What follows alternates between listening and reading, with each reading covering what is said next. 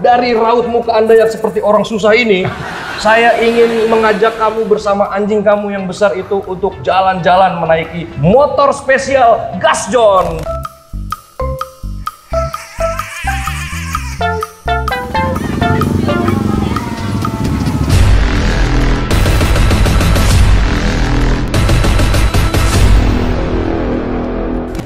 Assalamualaikum warahmatullahi wabarakatuh. Balik lagi bareng gua Apang di channel paling jatuh. Di channel paling gas, John. Yes, jadi hari ini di udara yang tidak terlalu bagus antara panas dan juga mendung, kita akan kedatangan seorang bintang tamu yang cukup inspiratif. Tapi hal inspiratifnya adalah hubungan spesial dia dengan mainannya. Mainan apakah itu? Di sebelah saya sudah ada seorang bapak-bapak. Oh, Gimana, Pang? lagi ada yang meninggal apa gimana pakai baju warna itu? Lagi Nggak. berkabung kayaknya nih. Kalau gue kan emang suka pakai baju hitam, Oh, Pang. biar kayak ini ya, Mark Zuckerberg. Asik. Jadi Joni, hari ini kita akan ngobrol bersama seorang eh, ini sebutannya YouTuber, Creators atau lah ya. Content creator Iya. ya. Dengan seorang content creator berstatus internasional. Asik. Yang biasa berkomunikasi dengan anjing peliharaannya. Jadi di episode kali ini kita akan mengulas bagaimana sosok manusia yang bisa menjaga hubungan sangat baik bersama binatang peliharaannya. Dan juga ada satu surprise buat Nusron. Apaan tuh, Pang? Dari raut muka Anda yang seperti orang susah ini, saya ingin mengajak kamu bersama anjing kamu yang besar itu untuk jalan-jalan menaiki motor spesial Gas John.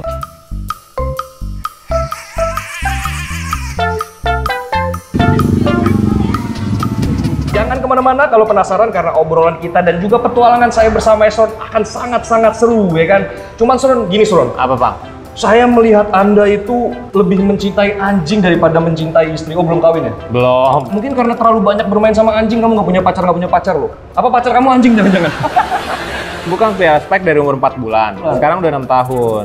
Ngerawat dia tuh udah sama seperti ibaratnya gue ngerawat anjing-anjing gue yang sebelumnya. Jadi kayak banyak orang, bang kok sayang banget sama Spike? Enggak. Gue dari umur 8 tahun tuh gue udah pelihara anjing, Bang. Jadi emang gue kebetulan adalah orang yang suka sama binatang, tapi spesiali anjing. Karena kalau misalnya binatang lain kayak misalnya kita pelihara burung elang atau pelihara ikan lele nih misalnya nih kan nggak mungkin kayak mereka giving back the love sama kayak anjing yang bisa ngasih cintanya balik ke kita gitu. Banyak orang bilang anjing itu memberikan cinta kayak ada di Jepang tuh ada Hachiko sampai dibi- Ma- dibikinin iya patung. benar, Ma- makanya kan ada istilah kayak dog is a man's best friend gitu Eh, kan. Jangan ngomong bahasa Inggris. Kameramen gue cegugan. Kagak ngerti.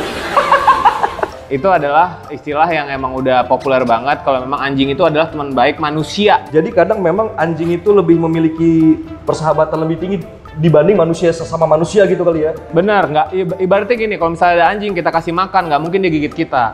Tapi teman kita kasih makan bisa nusuk. Dari belakang lagi. Mantan kita disikat juga. Ah, kalau itu.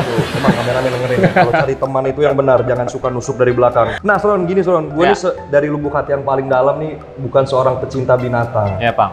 Bagaimana Hesron mengajak orang-orang seperti saya dan juga mungkin banyak yang tidak terlalu suka sama binatang. Lu gimana tuh menanggapi hal-hal kayak anjing dipukulin, anjing dimasukin karung terus dimakan segala macam?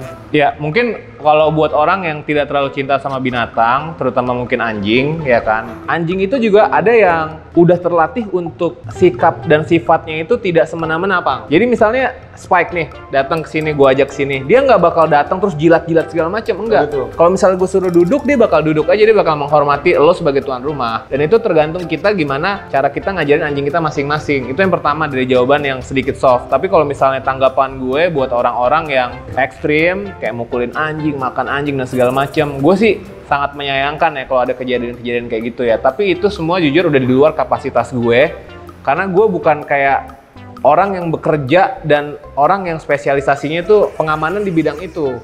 Cuman kalau misal ditanya pendapat gue, gue sangat menyayangkan hal itu bisa masih bisa ada dan terjadi sih. Nah, tadi lu bilang anjing lu si Spike itu tidak berlaku konyol gitu ya, tidak ludah-ludah, tidak jilat-jilat gitu. Enggak, enggak bakal. Gimana kalau anjing itu kita undang ke studio gas Joni? Boleh, kita Jadi turunin ya. eh, Joni-Joni jangan ke mana-mana karena Hesron akan ngambil anjing dulu, ambil anjingnya. Oke. anjing, ambil anjing.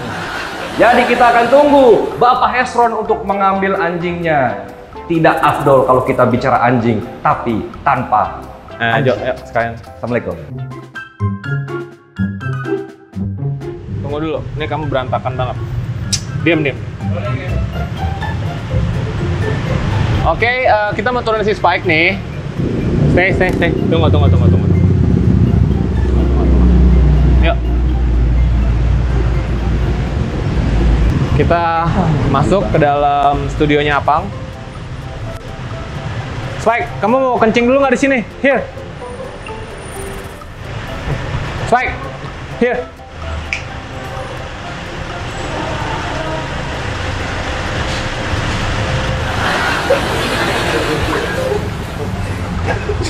Good boy.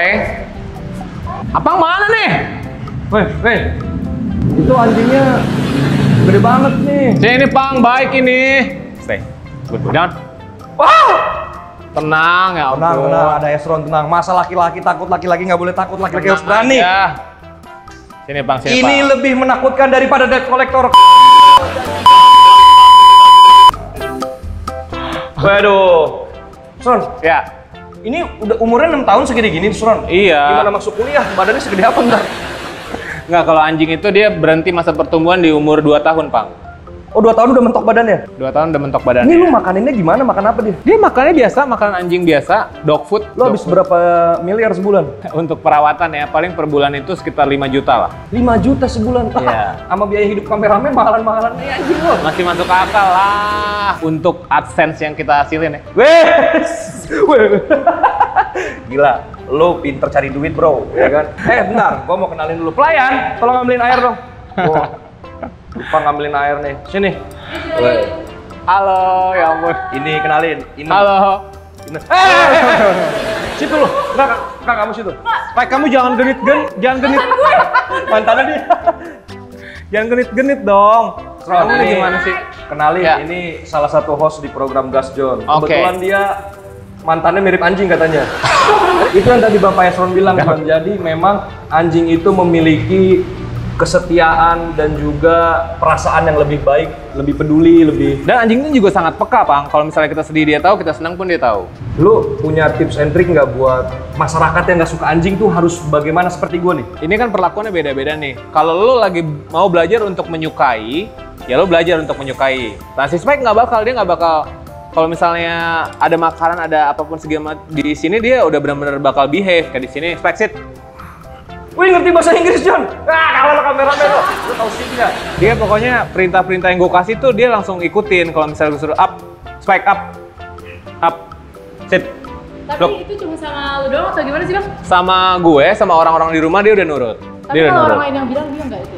buat anjing dia tuh termasuk anjing yang dominan ya high five Eh, maksudnya maksudnya dominan itu dia nggak nggak terlalu mau punya banyak leader karena dia sendiri adalah seorang leader gitu jadi harus emang orang yang benar-benar dekat sama dia down sini sini nggak boleh jalan-jalan lu down sini sini. Spike down, spike down. Gua Down. Juga, spike, gue juga lagi down nih, lagi banyak utang spike. Jadi lu total punya berapa anjing kan? gue punya ada tiga anjing satu si Spike satu lagi ada pacarnya Spike namanya Nala terus ada satu lagi anjing gue yang kecil namanya Lilo Ini semua jenisnya semua ma malamut. Ini anjing malamut. Malamut Ini gue boleh pegang nggak ya? boleh Dia melonjing. Iya. pegang aja nggak apa-apa santai Kayak karpet cuy rasanya. Kira-kira nih anjing yang berkarakter suka dingin gitu di naik motor di udara Menurut gue sih masih aman, as long as kita belum nyampe ke jam 10, jam 11 ke atas. Ini kan setengah 10 nih, menurut gue kita masih aman nih kalau kita gas sekarang nih. Oke, jadi John, itu aja perbincangan kita bersama Estron dan juga anjingnya dan juga Cici. Karena abis ini kita mau jalan-jalan untuk menikmati.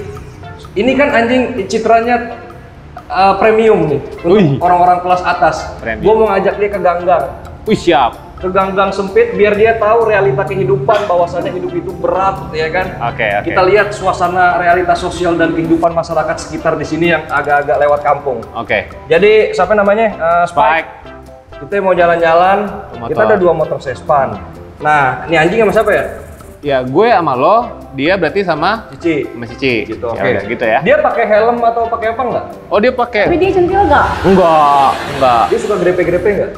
dia suka lo digrepe-grepe anjing. enggak. Ini ini Oh, dia pakai ini? dia pakai Wah, ini lucu banget. supaya matanya dia nggak kena angin. Tapi lo nggak pakai helm enggak? Enggak, enggak, enggak dia enggak pakai helm. polisi gimana? Ditilang gara-gara anjingnya nggak bawa... Enggak. Enggak lah ya, aman lah ya. Kan sespan, emang sespan harus pakai helm. Oh iya. benar. Jadi John, kita habis ini kita akan jalan-jalan menelusuri wilayah Tangerang Selatan. Jadi jangan ke mana-mana, tetap saksikan Gas John. Assalamualaikum, bye.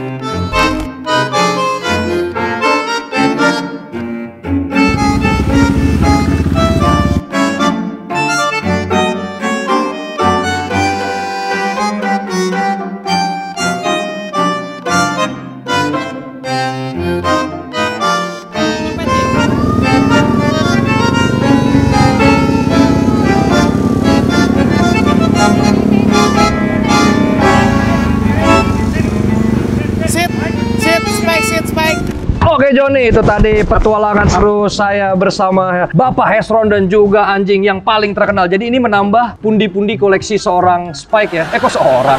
Seekor Spike yang udah pernah naik. Apa aja dia pernah naik apa aja? Jet ski, Ferrari, parasailing. Gila, dia lebih banyak jalan-jalan daripada kameramen saya yang biasa naik ojek online. Jadi gimana rasa lu, Sron, sebagai orang yang baru pertama kali naik Sespan, dua unit Sespan, lu sama gua, Spike sama host gua satu lagi. Fun banget, eh, lebih mirip sensasi naik jet ski kali ya. Karena kan angin, angin tuh kencang dan Spike juga kalau misalnya Gojek naik jet ski dia kan kalau misalnya diem dia tuh kayak mau turun karena panas. Tapi kalau misalnya kita gas, lagi posisinya kenceng, angin-angin eh, kena badannya dia, dia tuh nyaman. Jadi tadi memang kita sengaja mengajak Spike untuk berkeliling gang-gang yang ada di Tangerang Selatan Ya. untuk memberikan pengalaman lebih terhadap anjing yang biasa tinggal di komplek-komplek besar. Kendala-kendala yang lu hadapi tadi apa yang paling nyebelin? Kendala paling goggle-nya dia kadang-kadang agak turun. Oh. Tadi soalnya lupa gue kencengin. Sama kalau misalnya macet, macet kan panas tuh. Si Spike kayak mau turun, mau turun doang. Tapi sisanya nggak ada, aman. Jadi dengan tayangan ini semoga ini memberikan kalian uh, wacana agar bagaimana kita memperlakukan binatang khususnya binatang kesayangan itu dengan cukup manusiawi ya, bukan manusiawi, uh, cukup Hewani. Hewani. Jadi anggaplah binatang kesayangan kita itu menjadi Keluarga aja. keluarga aja karena bagaimanapun juga dari Pak Hesron sudah menjelaskan bahwasannya anjing itu memiliki kasih sayang dan juga perhatian yang yang lebih ya dibanding dibanding mantan pacar ya. Oke, jadi ini cukup pelajaran yang cukup berharga dari konten yang sudah kita buat kali ini. Semoga ada yang mau disampaikan lagi Pak untuk pecinta-pecinta anjing atau mungkin orang-orang yang belum memperlakukan anjing secara hewani. pelihara ikan, kucing, apa pun itu kita harus pelihara sepenuh hati dan harus memiliki komitmen. Jadi sama kayak hubungan kita bersama pacar kita atau istri kita ya. Ya, tapi jangan disamain juga. Kamu tidur sama dia nggak? Si Spike tidur Enak di, rasanya? di kamar gue, tapi di di bawah, nggak di satu kasur. Lu berdua gitu? Ini laki apa perempuan yang Tapi ngomong? jantan, jantan. Oh, oh, homo dong. Jadi itu aja John petualangan seru gua bersama Esron dan juga Spike. Ya. Untuk kalian yang suka anjing, khususnya suka Spike, bisa kunjungi YouTube channelnya Bapak ini ada di alamatnya di mana, Pak? Ezron Tarigan. Kode posnya?